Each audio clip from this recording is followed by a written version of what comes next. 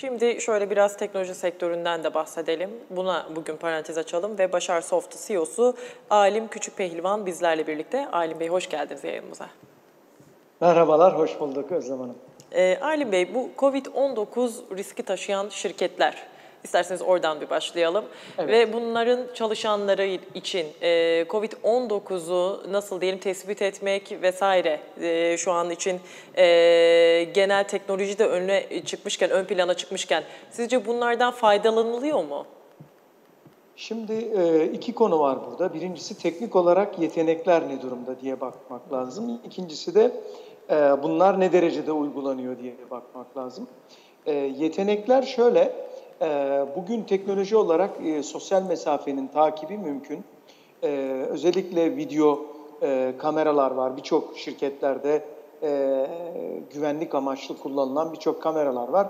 Bunlara eklenen basit bir yazılımla şirketler e, görüntü analizleriyle e, kişilerin maske takıp takmadıklarını, maskelerini düzgün takıp takmadıklarını e, takip edebiliyorlar ve hı hı. görüntüdeki hızlı analizler sayesinde de insanların fiziki olarak işte bir buçuk ya da iki metre neyse e, birbirine yanaşıp yanaşmadıklarını kontrol edebiliyorlar. E, bu yazılım ve e, teknolojiyi kurmak isteyen ve bütçesi olan firmalar bunu çok hızlı kurdular ve bugün birçok ileri üretim yapan firmada özellikle üretimin güvenliği açısından çünkü bu önemli. Eğer bir bulaş yaşanırsa fabrikanızda aynı vardiyada çalışan bütün işçilerinizin, bütün çalışanlarınızın 14 gün eve gönderilmesi gerekiyor ve bu evet. e, hem sizin üretiminizi etkileyecek hem de bütçenizi etkileyecek bir şey. E, dolayısıyla bu mümkün. Hatta bu süreç sadece iş yerinde değil, e, iş yerinin de e, öncesine yani insanlar artık evden çıktığı andan itibaren e, yönetilmesi gerekiyor bu sürecin. Hı hı. E, bizden mesela bazı müşterilerimiz istediler. E, fabrikaya e, giden işçilerin, çalışanlarının e, bindikleri servislerde e, hangisi hangi servise biniyor, o gün hangi kişiler binmiş servise ve hangi koltuklarda oturmuşlar, oturmaları gereken koltuklar neler. Böylece eğer geçmişe dönelik bir e, şey çıkacak olursa, bir e, ulaşmış bir hasta ihtimali oluşacak olursa geriye dönüp e, bunun temas ettiği, etme ihtimali olan diğer çalışanların sağlığının da e, kontrol sağlamak açısından e, bu tür çalışmalar e, yapılmakta. Evet, Alim Bey peki bu yeni normalde sizce kargo firmalarının teknoloji yatırımları ne yönde ilerliyor? Evet bu tabii çok büyük bir sürpriz oldu. İnsanlar tabii 18 Mart'tan sonra e, evlere girince şöyle şeyler yaşandı klasik verdiğiniz siparişleri veren e, evet. ticarete zaten alışık insanların e, verdiği siparişler 10 günde gelmeye başladı. Halbuki 2 günde, 3 günde geliyordu. E, bu e, kargo sektöründe firmalar aşırı talebe e, cevap veremediler. Uzun süre veremediler. Çünkü e, müthiş bir talep patlaması yaşandı. Planlamalar, şubeler, çalışan sayıları gibi ve aynı zamanda çalışanlardan da COVID'e yakalananlar olduğundan dolayı e, sizin e, böyle bir şeyi planlayabilmeniz mümkün değil. Dolayısıyla ne e, devreye girdi? Burada kargo şirketleri e, aldıkları talepleri öncelikle e, önceden hasta olsa da olmasa da şubede 7 kişi varsa şimdi 27 kişi çalıştırmaya başladı. O şubedeki çalışanlar e, o 7 kişi kargo nereye götüreceğini adresi biliyorlardı. Kendileri planlıyorlardı ve götürüyorlardı. Fakat 20 kişi daha ek oraya koyduğunuzda Bunlar ne bölgeyi biliyorlar, ne adres teslimatı yapmışlar, hiçbir şey bilmiyorlar. Dolayısıyla bunların ellerine ciddi bir teknoloji e, yatırımı yapmak zorunluluğu geldi Hı. ve onları yapmaya başladılar. E, sonradan herkes gördü. Mesela bazı tüketim maddeleri biz de evde sipariş ediyoruz. Kahve gibi mesela e, ilk e, paketimiz 10 günde gelmişti. ikinci paketimiz e, 3 günde geldi. Daha sonra da otur, oturdu. E, ama şunu söylemek mümkün e, şu an Türkiye'deki potansiyelin çok çok çok e, altında e, kargo ve ticaret yatırımındaki ulaştırma mekanizması. Bu yüzden e, çok yeni oyuncular girecek. Mahallemizde, e, ben şimdi isimlerini vermeyeyim, birkaç tane yeni müşteri e, eklendi portföye. Bizim e, bütün kargo şirketleri, bizim müşterilerimiz adres ve rotalama işlerini bizden alıyorlar. E, yenileri eklendi. Mahallemizde satın aldığımız bazı hizmetleri edindiğimiz büyük e, organizasyonlardan bazıları artık e, evimize kargo getirmeye de başlayacaklar. E, bu da e, yeni bir iş alanı demek. Aslında şöyle de bakmak lazım.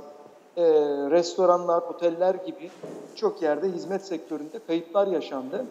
E, oradaki iş kaybının e, bu yöne doğru e, gerçekleşeceğini biz e, öngörüyoruz. Hı hı. Orada bir e, yeni bir iş alanı var. E, bir tek orada e, sorun olarak şeyi görüyoruz. Şu an e, yasa e, anlamında teslimatlar kişiye imza karşılığı yapılmak zorunda. Bu pandemiden dolayı e, imzasız dokunmadan teslimat yapılmaya başlandı ama kalıcı hale getirilmesi lazım. Yönetmeliklere girmesi lazım hı hı. ki e, kargocular sizi evde bulamazlarsa bir daha gelmek zorunda kaldıklarından bu maliyetleri yönetemiyorlar ve bu süreç iyi yönetilemiyor. E, kargonun sizin oraya bırakılması, fotoğraf çekilmesi falan gibi e, bazı şeylerle e, bu sektörün önü daha da açılacak diye e, düşünüyorum. Evet, Alim Bey peki e, Türkiye'nin aslında e, nasıl diyelim geleceği ve katma değeri yüksek olan sektörlere e, önem vermesi söz konusu ve bunların başında da yazılım sektörü de geliyor. Özellikle evet. dünyada gelişmiş ülkelerin yazılım sektörüne nasıl odaklandığını da görüyoruz. Türkiye'deki sizce potansiyel nedir bu sektörle ilgili?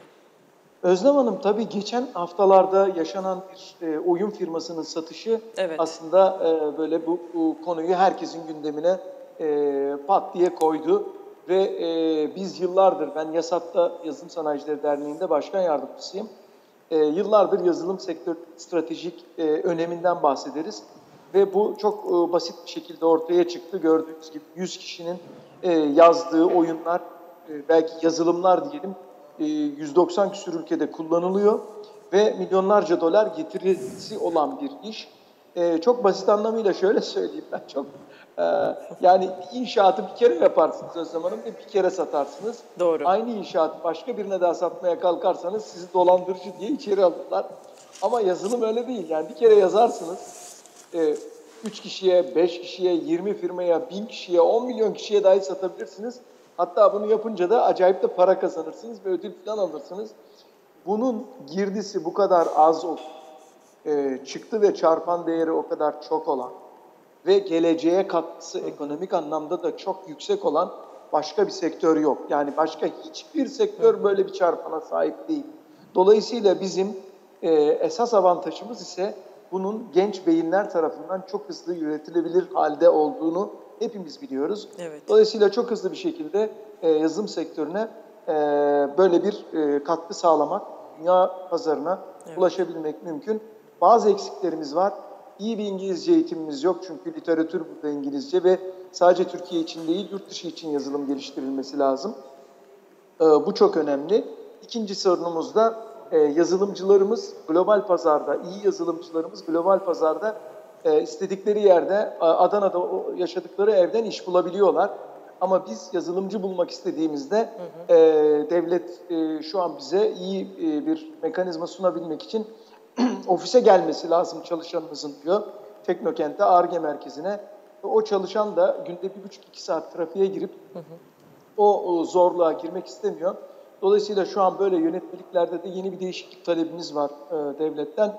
E, özellikle yazılım çalışanlarına sunulan desteklerin zaman ve mekan bağımsız hale getirilmesi e, bizim beklentilerimiz arasında. Eğer böyle bir şey gerçekleşecek olursa e, tüm izleyicilere diyebilirim ki e, yazılım firmalarına yatırım yapabilirler. E, yazılım firmalarının hisselerinden alabilirler. Evet. Bizim borsada bir yatırım şeyimiz yok. Dolayısıyla rahatlıkla önerebiliyorum. Öneride bulunabiliyorsunuz. Peki Alim Bey son dakikaların içine de girdik ama sizce bu potansiyeli gerçekleştirmek için bir takım adımlarda atılmıyor değil aslında. Öğrenciler yetiştirilmeye çalışılıyor vesaire. Genel hatlarıyla sizce yeterli seviyede midir? Şimdi bu en son 1 milyon yazılımcı projesi çıktı. Bence e, ve yasat olarak biz bunu çok kıymetli buluyoruz. E, bir şekilde bu yolda atılmış her adım kıymetli.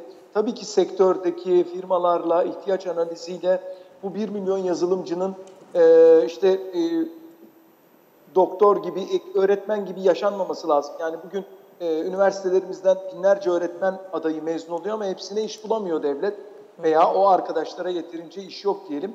E, benzer durumun yazılımda da yaşanmaması için e, bunun sektörle yakın koordinasyonla yapılması lazım.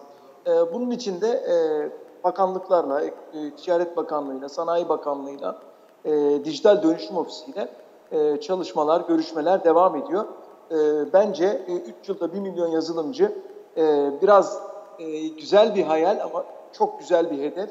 E, olmaması için hiçbir sebep yok. Tek sorunumuz dediğim gibi iyi bir İngilizce eğitimi hı hı. ve sektörle e, harmonize bir şekilde bu projenin yürütülmesi.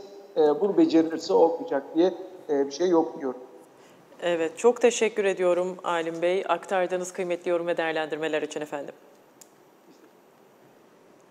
Evet, Alim Küçük Pehlivan, Başar Soft'u CEO'su bizlerle birlikteydi ve kendisinden şöyle bir e, genel sektör değin, sektörlere değindik.